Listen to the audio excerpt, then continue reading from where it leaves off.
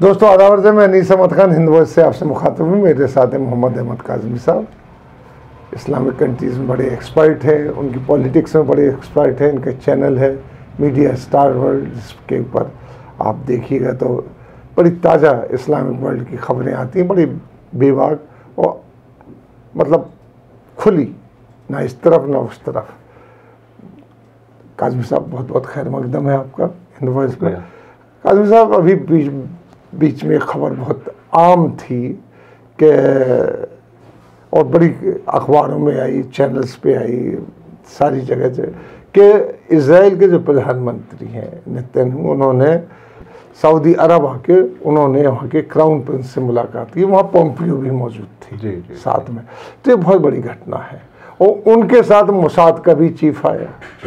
तो लेकिन मुलाकात कोई दो घंटे तीन घंटे की हुई। हाँ। आए और वो सीक्रेट रास्ते से वापस भी चला गया उनका प्लेन और प्लेन भी वो किसी अपने दोस्त का लेके आए थे जो कमर्शियल नहीं था ना वो था। तो ये क्यों आखिर इसके बारे में हम आपसे जानना चाहते हैं? देखिए डोनाल्ड ट्रंप अपने इलेक्शन की कैंपेन के दौरान उन्होंने कुछ अरब मुल्कों के इसराइल से ताल्लुकात नॉर्मल कराने का सिलसिला शुरू किया था और उसमें यूएई और बहरीन और उसके बाद आखिर आखिर में सूडान की तरफ़ से भी ये ऐलान आ गया था। बल्कि ट्रंप ने ऐलान किया था सूडान की तरफ़ क्योंकि अभी अभी तक सूडान की लीडरशिप की तरफ़ से कोई बहुत ही मज़बूत बयान नहीं आया। हालाँकि अभी मैं कल ही देख रहा था कि एक इजरायली डेलीगेशन सूडान से वापस आया है। तो खैर ये एक सिलसिला चल रहा था। अब सऊदी अरब के बारे में ये कहा था कहा जाता रहा है और ऐसे बहुत से एविडेंसेस भी हैं जिसमें ये कि सऊदी अरब के crown prince Mohammed bin Salman ने ही इन मुल्कों को इसराइल के साथ ताल्लुकात नॉर्मल करने के लिए तैयार किया था। और पिछले दिनों यूसी कोहन जो मोसाद के चीफ हैं, जिनका आपने ज़िक्र किया, उन्होंने भी एक अमेरिकन मीडिया से बात करते हुए इंटरव्यू में कहा था कि नए जो प्रेसिडेंट चुने जाएँगे, चाहे ट्रंप आए या दूसरे आए, जो बाइडन, उनको एक बड़ा तोहफा सऊदी अरब देने वाला है। इसराइल को दोस्ती करने के लिए इसराइल के साथ नॉर्मल ताल्लुकात करने के ऐलान के साथ। तो ये सारी चीज़ें अभी तक चल रही थी। अब चूँकि ट्रंप हार गए तो उसके बाद पोम्पियो एक विज़िट पर निकले हुए हैं। अभी अभी शायद वो वापस नहीं पहुँचे हैं वॉशिंगटन, जब हमारी आपकी बात हो रही है। वो कई मुल्कों के दौरे पर निकले और बहुत ही दिलचस्प दौरा रहा। कई इंपॉर्टेंट चीज़ें हुई उसमें। एक तो वो पहले आए जॉर्जिया, उसके बाद वो तुर्की जाना चाहते थे रजब तैयब अर्दगान के पास। रजब तैयब अर्दगान ने टाइम नहीं दिया। माइक पोम्पियो को कि साहब हमें नहीं मिलना। और ये मेरे ख्याल से बड़ा समझदारी का फैसला था कि नई हुकूमत के साथ उन्हें अब डील करना इस जाति जाति हुकूमत के साथ हम आ, अलग से बात करके क्या करेंगे? ये तो बड़ी बेवकूफ़ी हमारी हिंदुस्तान की सरकार ने कर दी थी कि वो two two plus two meeting की ऐसे वक्त में जबकि वहाँ election campaign election campaign Recep Tayyip Erdogan ने ये गलती नहीं की। उसके बाद वो इसराइल पहुँचे और इसराइल के कब्जे वाले वेस्ट बैंक के इलाके में वो गए। जो बिल्कुल गैर कानूनी था क्योंकि जब तक कोई भी इलाका किसी मुल्क के गैर कानूनी कब्जे में होता है तो आम तौर पर किसी भी मुल्क का आ, नुमाइंदा हुकूमत का नुमाइंदा उस इलाके पर नहीं जाता क्योंकि उससे एक तरह से रिकग्निशन की जी, जी, आ, बात समझी जाती जाती है। तो उन्होंने दो जगह गए वेस्ट बैंक में गए और वहाँ की बनी हुई शराब पी। क्योंकि वो कुछ मुल्क मकबूजा इलाकों के बने हुए सामान के बाइकआउट का अ, एक कैंपेन चलाते हैं। और वो इजरा सीरिया की इसराइल के ज़रिए कब्जा की गई गोलान हाइट्स भी गए।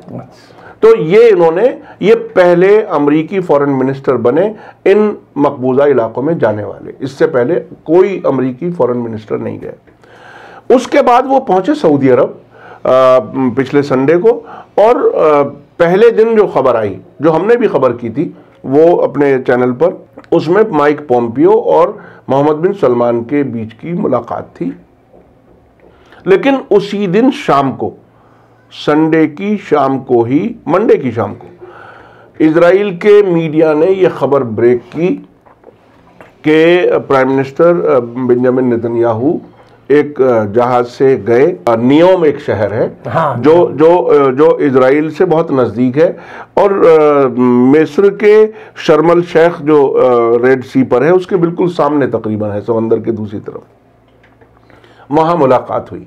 और वहाँ के कई एक से ज़्यादा मिनिस्टर्स ने ये कंफर्म किया।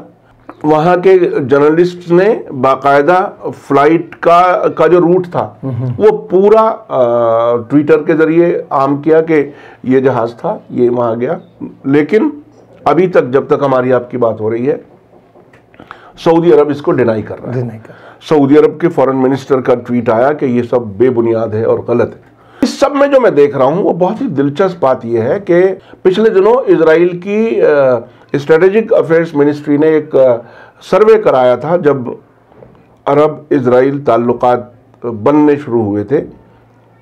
अरब सोशल मीडिया पे जो कुछ डिस्कस किया जा रहा था, उस पर सर्वे था और उसमें ये बात सामने आई थी कि 90 फ़ीसद अरब लोग, जिसमें ज़ाहिर है सऊदी अरब के और दूसरे अरब मुल्कों के अवाम जो हैं, वो इसराइल के साथ नॉर्मल ताल्लुकात करने के ख़िलाफ़ हैं। अब इन हुकूमतों को जो बादशाहतें हैं जिनके बारे में ट्रंप कह चुके थे कि ये ऐसी हुकूमतें अगर एक हफ़्ते हम सपोर्ट ना करें तो हुकूमतें गिर जाएँगी। बड़ा मशहूर तो इस इस डर में कि वहाँ की पब्लिक का रिएक्शन ज़्यादा वायलेंट भी आ सकता है। हालाँकि वहाँ सख्तियाँ हैं लोग खुल करके सरकार के बारे में कुछ बात नहीं कर सकते। लेकिन फिर भी वहाँ की हुकूमत आज भी डर रही है। ये ऐलान करने से कि नेतन्याहू यहाँ आए थे। एक और वाक़ मैं बता दूँ याद दिला दूँ। तकरीबन एक हफ़्ते पहले की बात है एक जहाज़ इसराइली जहाज़ इसराइल के साउथ से जब रेड सी के ज़रिए गुज़रते हैं जिसमें जद्दा भी आता है और मक्का बहुत नज़दीक है समंदर के तो ये जहाज़ हवाई जहाज़ आसमान में रहते मतलब बिल्कुल जैसे ज़बरदस्ती जलील करने का इंतज़ाम हो अरब बादशाहतों को। वो जहाज़ आता है रेड सी से उसको उतरना कहीं नहीं है उतरा भी नहीं। और वो मक्का के हरम के ऊपर से गुजर के और फिर जबकि हरम से ऊपर से गुजरना शायद मना है मना है। और अब तक हुआ नहीं। तो ये इजरायली जहाज़ बाकायदा मक्का के ऊपर से गुजर के और फिर वापस रेड सी के रास्ते से आया और इंडिया आया था वो नई दिल्ली आया था। अच्छा। वो जहाज़ उसकी भी बाकायदा फ़्लाइट शेड्यूल फ़्लाइट की रू, के रूट वो बाकायदा सोशल मीडिया के ज़रिए आम हुए थे। तो जहाँ ये नीयत साफ़ हो चुकी हो, सामने आ चुकी हो इसराइल की तरफ़ से कंफर्म किया जा रहा है, सऊदी अरब की तरफ़ से डिनाई किया जा रहा है इस सीक्रेट मुलाकात को। ये जहाज़ आता है, मक्का के ऊपर से गुजरता है। तो ये दोस्ती के ऐलान से पहले ही बाकायदा इन बादशाहतों को जलील कराने का भी इंतज़ाम कर रहे हैं। मतलब आप डिनाई कर रहे हो? हम कह रहे हैं कि नहीं हम तो गए थे। गए थे। तो आप मैं तो बिल्कुल इसे ऐसे देख रहा हूँ कि साहब शादी से पहले ही सब कुछ हो चुके। निकाह बाद में ज़बरदस्ती कराया जाए कि भाई अब तो सब कुछ हो ही चुका। तो अब बस इतनी बात रह गई है सऊदी अरब की तरफ़ से ऐलान होने में कि वो नॉर्मल ताल्लुकात कर रहे हैं। चूँकि वहाँ के फॉरेन मिनिस्टर ने तीन दिन पहले बयान दिया कि हम नॉर्मलाइजेशन के हक में हैं। हम्म, हम्म। ये मुलाकात भी हो गई। माइक पोम्पियो जाते जाते ये सब करा रहे हैं और इसमें जो बाइडन को एक तरह से इशारा है क्लियर मैसेज है कि साहब जो कुछ हम कर रहे हैं, आपको भी इसी तरह से चलना पड़ेगा। तो ट्रंप एक तरह से अपने अगले इलेक्शन की जिसका वो इंडिकेट कर चुके हैं कि 2024 में मैं फिर आऊँगा व्हाइट हाउस के लिए लड़ने के लिए। तो शायद उसके लिए वो तैयारी कर रहे हैं। अब 20 जनवरी को ओथ सेरेमनी होगी। जो बाइडन की एडमिनिस्ट्रेशन ने भी ये कहते हुए कि हम जीते हुए हैं और हम हारे नहीं हैं, फिर भी एक इशारा कर दिया है वहाँ की हुकूमत तब्दील करने का जो प्रोसेस है कि आप आगे बढ़ सकते हैं, जो बाइडन को ओथ टेकिंग सेरेमनी करा सकते हैं। लेकिन उस आखिरी ट्वीट में भी डोनाल्ड ट्रंप कह रहे हैं कि जीता हुआ मैं ही हूँ आज। तो ये बड़ी अजीब अजीब चीज़ें हो रही हैं। तो वहाँ शादी से पहले सब कुछ हो चुका शायद बच्चा पैदा होने का टाइम आ गया और अभी निकाह का ऐलान नहीं हुआ और यहाँ ये इलेक्शन हार चुके और ये जाने के लिए तैयार भी नहीं नज़र आते लेकिन अब हार थक के चूँकि अदालतों में भी उनके मुकदमे सारे केस- सारे गिर गए तो अब उन्हें बहरहाल व्हाइट हाउस से विदाई के लिए तैयारी उनकी शुरू हो गई है लेकिन अभी भी वो ऐलान नहीं कर रहे हैं कि साहब मैं हार चुका हार चुका है। और सऊदी अरब उन्हीं के नक्शे का। अब बिल्कुल उन्हीं के नक्शे का। देखिए, बुनियादी तौर पर जो गुलाम हुकूमतें हैं, जो अपने फैसले खुद नहीं करती, उनका हाल यही होता है और उनके किस्मत में जलील होना भी होता है। खुद जो दोस्ती से फ़ायदा उठाने वाले हैं, जो इसराइल एक तरह से अमेरिका इसराइल को प्रोटेक्ट करने के लिए पड़ोसी मुल्कों से दोस्ती करा रहा है वही इसराइल इनको जलील करने का इंतज़ाम भी कर रहा है साथ साथ। अभी ऐलान से पहले अभी ऐलान नहीं हुआ उससे पहले उन्हें दलील करा रहा है। वो डिनाई कर रहे हैं वो कह रहे हैं कि नहीं साहब। आ, नहीं हम तो गए थे। हम तो गए थे। हाँ, हमें कौन रोक सकता है? तो ये बड़ी अजीब सी सूरत हाल है। इन अरब हुक्मरानों का आ, हाल आ, आ, आ, अब वो एक आ, लंदन में एक बड़े पत्रकार हैं अब्दुल बारी अतवान। वो ये कह रहे हैं कि इनको बहरहाल बहुत ही ज़्यादा ये एक तरह से दलदल में फंसते जाएँगे और इनको बहुत ही जलील होना पड़ेगा। बहुत बहुत शुक्रिया काजमी साहब आपका। इसी के साथ हम आपसे लेते विदा। अगले अंक में फिर हाजिर होंगे, तब तक के लिए दीजिए इजाज़त।